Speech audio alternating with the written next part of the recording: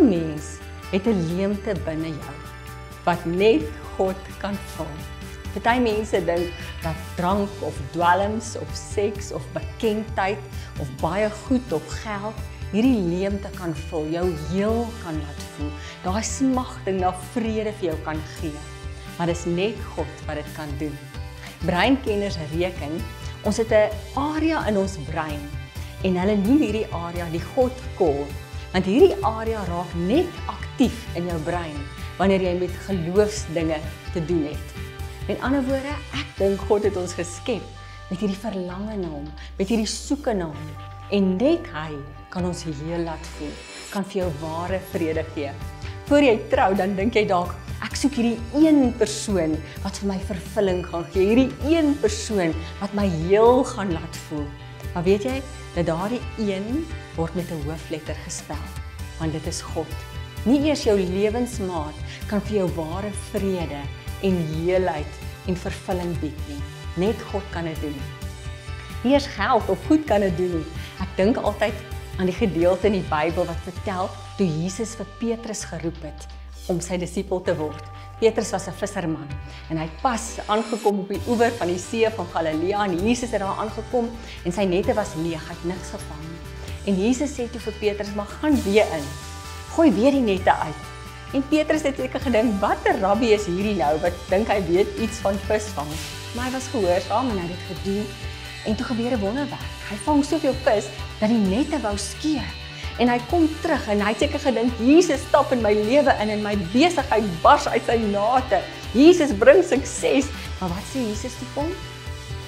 Los dit. Volg my. Daar's meer aan die lewe as net sukses en 'n gesonde besigheid en en geld en goed. Al wat ware vervulling bring is God. Ja, uh so baie keer dan dan dink mense daar's 'n ander goed. Jy, baie mense dink ek vind dit in myself. Ek moet net na binne toe draai, dan gaan ek hierdie vervulling kry. Ons leef mos in 'n samelewing van me, myself en I. Ek hoor nou die dag die skokkende ding. Iemand sê vir my, die nuwe drie-eenheid is nou nie meer God die Vader en God die Seun en die Heilige Gees nie. Die nuwe drie-eenheid is nou me, myself en I want vir almal gaan dit net oor my behoeftes en wat kan hierdie verhouding vir my beteken en wat kan die kerk vir my doen en wat kan die regering vir my doen en alles gaan net oor eie belang. Maar al het eerste wêreldse mense al hierdie dinge en en word dit by hulle toegevoeg al hoe meer en meer lees ons dat eerste wêreldse mense al hoe meer ongelukkig geraak. So nie eers om na binne toe te draai, nie eers wanneer me myself en I vervulling kry, gaan jy ware vrede kry. Jesus sê dat sy vrede is anders as wêreldse vrede. Wat is wêreldse vrede? Wêreldse vrede is ek het 'n sterk bankrekening en ek is gesond en dit gaan goed met my en ek het 'n mooi huis en 'n mooi kar. Nee. Jesus sê my vrede is anders.